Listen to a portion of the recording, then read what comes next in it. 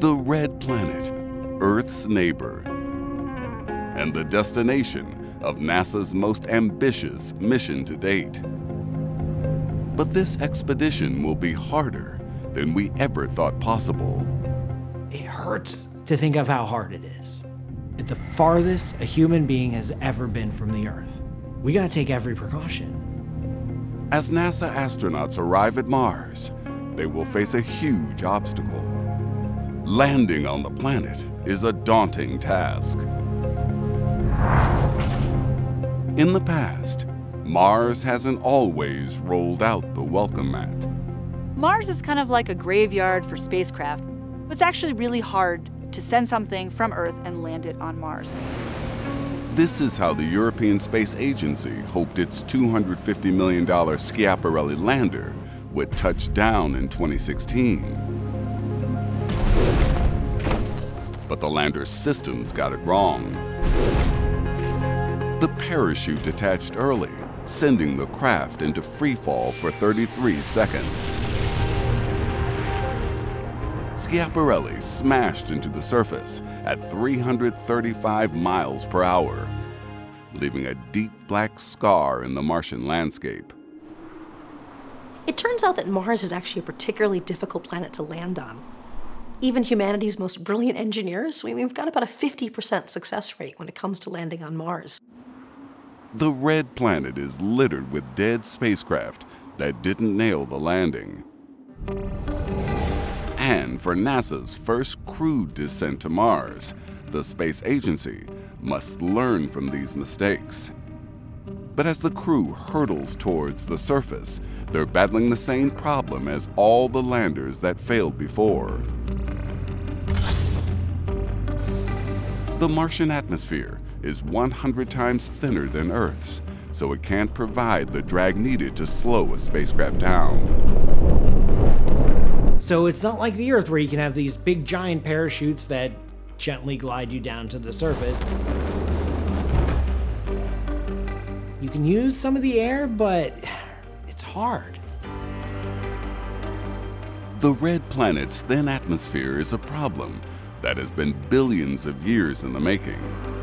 Mars doesn't have a large atmosphere because it's constantly being peeled away due to the lack of protection of a magnetic field.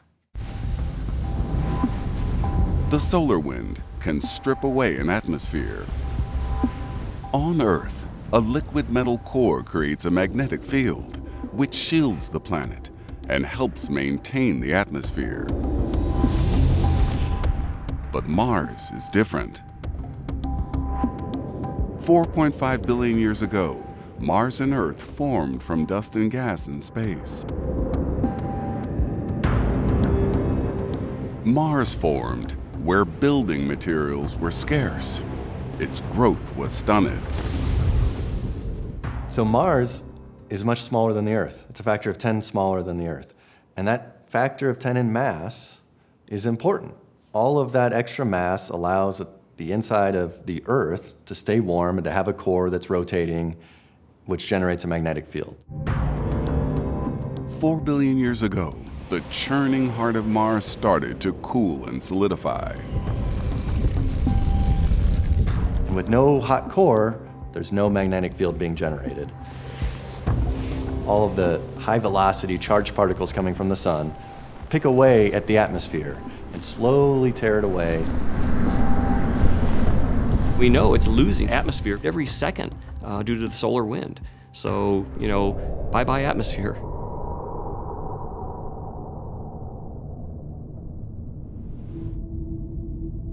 If NASA's astronauts arrive on Mars as planned in 2035, the settlers will find one of the red planet's biggest challenges is its dust. It's sticky. Uh, basically, light from the sun can give this stuff a static charge, and then it clings to stuff. So it's not just a matter of like, you know, standing on a doormat outside your, your space habitat and shaking yourself off. It's going to get in your spacesuit, it's going to coat your visor, it's going to cover your solar panels. If you get it in your lungs, it's not a good thing. We have to figure out how to clear this stuff out.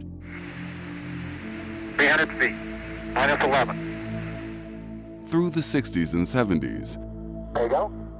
Apollo astronauts walked on the moon. When they returned to their landing module, they brought moon dust back with them. The lunar dust clogged seals, caused equipment to overheat, resulted in false instrument readings, and even made astronauts sick. You don't want to be breathing in fine, dusty material. Um, by itself, you can get things like silicosis. It's a, it's a, you know, almost basically a, a lung cancer that you can get just from breathing the dust itself. You don't want to do that. The red planet is covered in sticky dust. And new research suggests it all came from one place. The Medusa Fossae Formation. When the 600 mile long volcanic deposit formed 3 billion years ago, it was around half the size of the United States. But the Martian winds have eroded this structure and spread the dust across the entire planet. When the wind whips up this dust, it can have disastrous consequences. The real problem is just that all these fine particles get lofted into the atmosphere, and it takes a really long time for them to settle back out.